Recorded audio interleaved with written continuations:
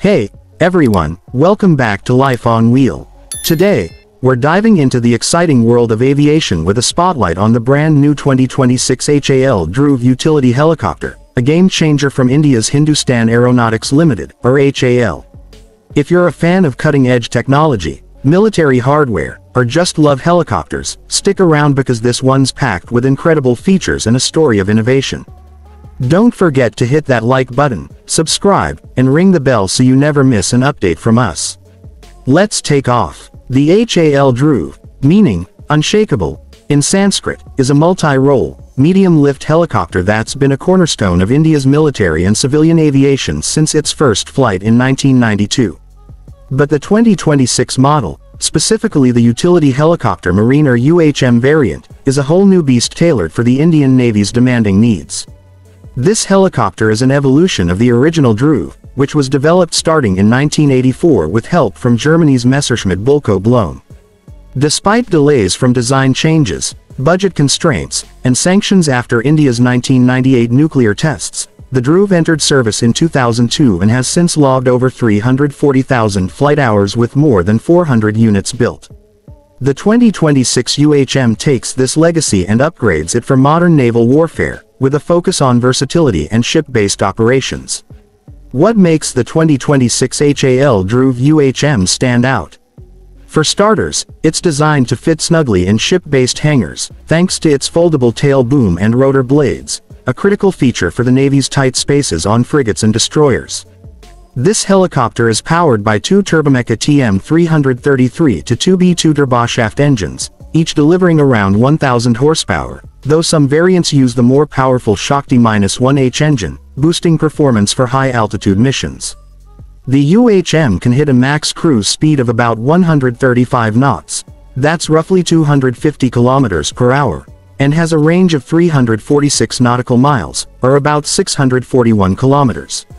With a service ceiling of 14,436 feet and a climb rate of over 2,000 feet per minute, it's built to handle tough conditions, from the high seas to mountainous terrains.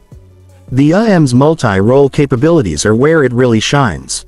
It's designed for personnel transport, cargo delivery, and casualty evacuation, or CASEVAC, making it a lifesaver in emergencies. But it's not just a utility workhorse, it's got teeth.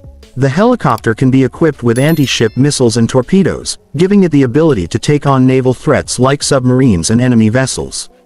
A nose-mounted surveillance radar enhances its situational awareness, letting it track ships up to 14 kilometers away with such clarity that operators can even read ship names.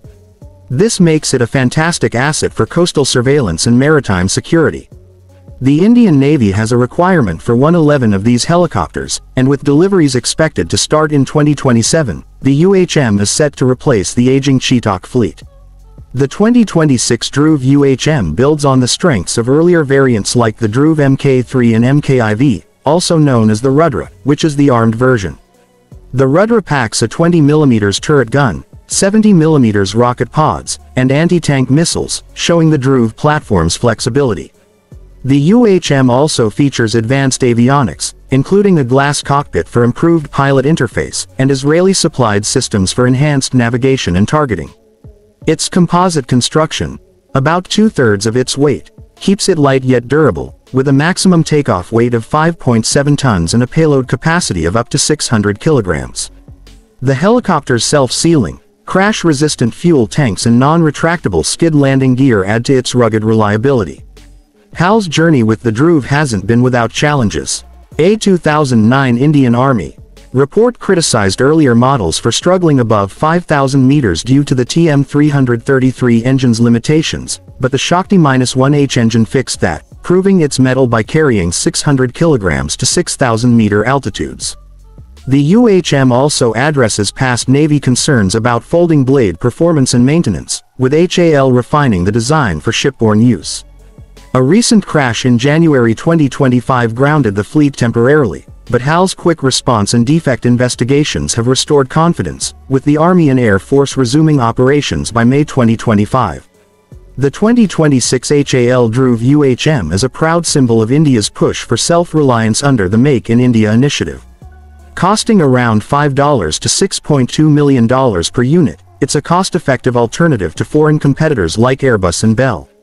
With its first flight expected by May 2025 and production ramping up, this helicopter is poised to dominate India's naval operations.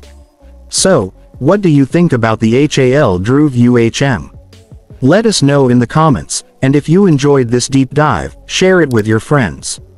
This is Life on Wheel, and we'll see you in the next one, stay soaring.